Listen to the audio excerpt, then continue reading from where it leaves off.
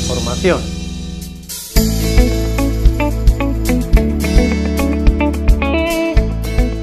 Un mes atrás, la etiqueta SOS Cuba se hacía viral gracias al apoyo de artistas como el español Paco León, que en un mensaje aludía a una crisis sanitaria en la isla por la COVID-19. El actor colaboraba ingenuamente con lo que después demostró ser una enorme operación política que del SOS Cuba pasó a la petición de una intervención militar de Estados Unidos. Hoy, un mes después, en el estado de la Florida hay un repunte grave de COVID-19, con 15.000 ingresos hospitalarios cada día. En Cuba, a pesar del aumento de casos, la cifra relativa de fallecimientos es de 7,5 veces menor, por ejemplo, que en el condado de Miami-Dade o que en la comunidad de Madrid. ¿Habrá un SOS Miami, un SOS Madrid con apoyo de artistas internacionales? Cuba sufre un grave desabastecimiento de medicamentos debido a la falta de ingresos por turismo, al bloqueo y a las nuevas sanciones de Estados Unidos. Aún así, el mismo día en que se lanzaba la campaña SOS Cuba, la Universidad John Hopkins publicaba una estadística reveladora acerca de la tasa de muertes por millón de habitantes. En el mundo era de 519, en Estados Unidos de 1870 y en Cuba de 132. Hace un mes, producto de las penurias materiales y de una enorme campaña de redes sociales, se producían protestas contra el gobierno cubano.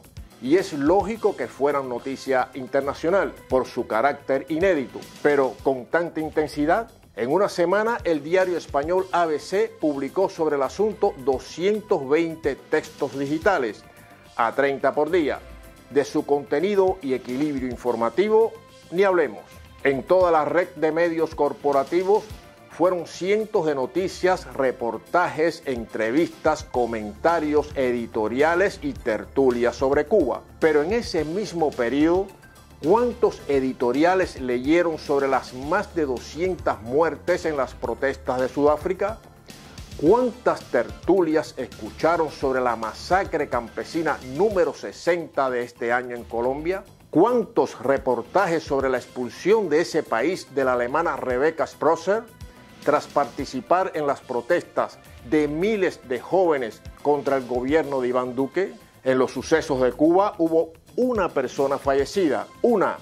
En Estados Unidos, la policía el pasado año dio muerte a 1.021 personas. Hace tres semanas, 22 presos morían en los motines de dos cárceles de Ecuador. ¿Lo oyeron en algún programa de radio? En Arabia Saudí acaban de ejecutar a dos jóvenes por participar en protestas contra el gobierno. Y en 2019, 37 personas fueron decapitadas en público. ¿Han leído en los medios peticiones de intervención o de aplicación de sanciones a este país? En mayo, 260 civiles fueron masacrados en Gaza por los bombardeos de Israel, cuyas tropas han arrestado en el primer semestre de este año a 5.400 personas palestinas, de ellas 854 menores.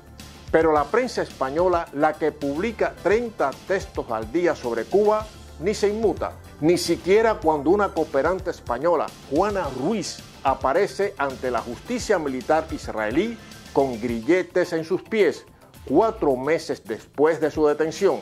Es la prensa que intenta no airear las constantes evidencias sobre el enriquecimiento ilícito del rey emérito Juan Carlos I, tras 40 años de negocios con las monarquías del Golfo, porque el día en que se conocían nuevas informaciones sobre este caso, ¿Saben cuáles eran las portadas de la prensa española?